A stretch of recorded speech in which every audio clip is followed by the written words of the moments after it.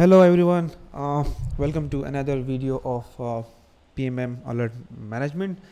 Uh, today i wanted to mention that how you guys can configure uh, you know your contact point in the pmm alert manager. Uh, in last video uh, we didn't work on that. We just configured like how we can just add how we can just create a new rules alert rules and how we can just add it a different templates. But today we are going to add a contact point where you just configure an alert and then the alerts get received by some recipient. Uh, so that today we are going to uh, do that for the email alerts okay? So we were going to receive an email once we get an alert okay? So for that we are going to use the smtp provided by the uh, google which is uh, uh, smtp.gmail so we are going to use that. Uh, obviously you can add slack or you can use the um, Microsoft Teams and there are so many things so many contact point which you can use so uh, before going to contact points I have already added one contact point for my testing. I'm going to delete that. Uh, so if you're going to add contact point you have to uh, work on certain configuration. Uh, so before doing that we are, we required uh, two settings. We required uh, SMTP password okay which is provided by the Google. And then what we need is that we need what is that we need a grafana configuration okay? So we need to edit some grafana configuration and after that uh, we are going to uh, do that. So uh, let me uh, see what's my ps minus a my okay my docker is running. And uh, after that we before that let's uh, go and just get the grafana sorry the smtp password. So for doing that uh, you need to have an email. I have separate uh, set up a um, new email address okay? And uh, what uh, what we need to do is that we should have an app uh, password which is smtp app password. And for that we just need to go and uh, search here. Uh, before that you should have a two-step verification on on your email which uh, email are you using. Uh, if you are using uh, any smtp provided by your services inside your let's say in your infrastructure you already have one you can use that as well. You just need a smtp server link okay? So let's say whatever it is any you know it is an ip or you know host name or uh, let's say just uh, just an address you need okay? And after that you need a user okay which email you're going to use uh, the sender the receiver and um, obviously uh, you need uh, what is that? Uh, what you what is you need is that password. So i'm going to search for the app password okay? Inside the app password okay what was the password of my this email uh, let me see. Okay. So let me log in because I'm just got kicked out.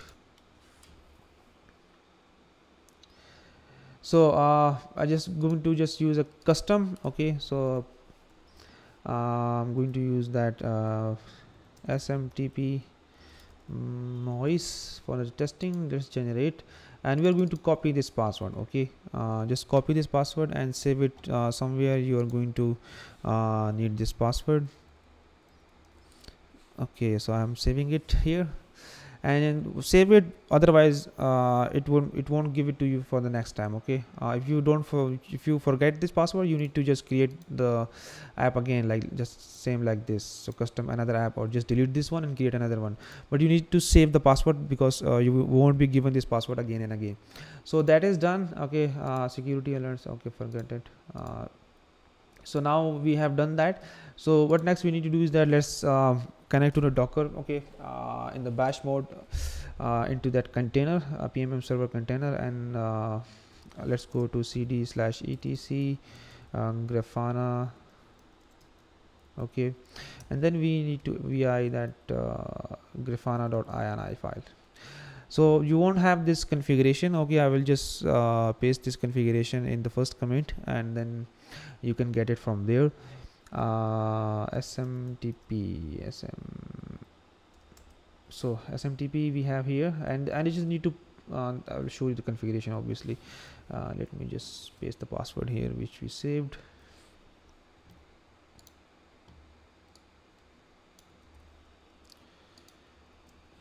Okay so this is the configuration simple configuration. You need to provide the password here. Uh, cursor yeah here's my cursor so this is my smtp gmail uh, server. Uh, obviously you need to provide the port. It will come like this okay 465 and then you need to provide the user uh, which is my email. This is the password provided by the app smtp okay and this is the uh, Maurice uh, for from address okay so and this is the user provided by the SMTP so uh, that's it okay. You need to just keep the rest of the setting as default and you don't need to change the other settings. Uh, let me save it okay. And then exit out of the grafana and you need to just uh, docker uh, restart pmm dash server. So we need to restart our pmm server. Now once that is done okay uh, make sure your uh, pmm server comes back healthy. So once that is done uh, i will just let you know guys back on this. So i'm pausing the video till that okay uh, so now if you see my uh, docker is uh, healthy.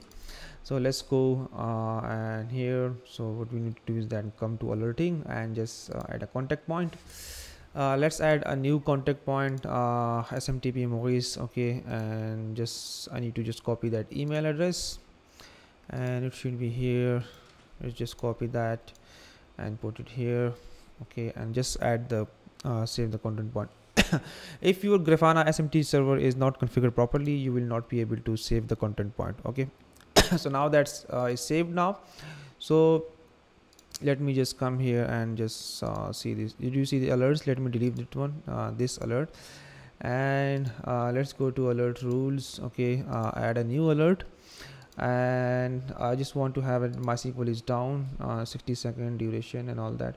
Uh, the MySQL folder inside and let's add a filter uh, service name operator match should be MySQL one. I don't need to check the advanced settings. So save and exit okay? So uh, obviously if you want to uh, test your uh, you know content point okay you need to just come here and edit test the content point uh, send a test notification. Uh, it will send a test notification okay? Uh, that will happen as well. Test alert sent. Uh, let's close this okay? And if you see here to me it's I sent a firing test alert okay? So this is how it's going to uh, show up. So now let's uh, go to the alerts okay? And go to MySQL okay? And just shut down our MariaDB after one minute or so uh, our MariaDB uh, is uh, is going to or PMM is going to you know fire an alert. I didn't want to use the MariaDB here because I'm a fan of doc of uh, Percona server obviously. But obviously I had to do some testing so for that I already had in uh, this uh, MariaDB because I was just doing some testing of PMM with the MariaDB. So it's already there uh, so let's wait for a couple of minutes okay because uh, one minute uh, because uh, it will wait for one minute then only the alert will get fired. So i will show you guys how the alerts get fired and how it uh, comes to the mysql. Sorry the email. So if you see the, our alert is in pending state okay so it's just 19 seconds now. And let me refresh it again and again. 27 seconds uh, so after 30 seconds obviously if after second 30 seconds it is going to uh, let's just view 37 seconds and 41 second. The minute it get fired because it waits for one minute so to make sure that the alert is triggered you know so it's not a false alert. So that's why it's going to just wait for one minute uh, still there 56 seconds. Obviously almost reached. So it's been one minute now and i'm pretty sure uh, if you go to fire alerts it's here now okay? So it's active now and within a couple of seconds uh, you will receive an email uh, as well.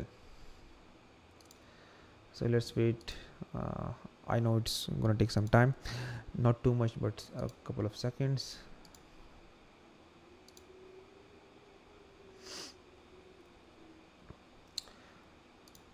Come on.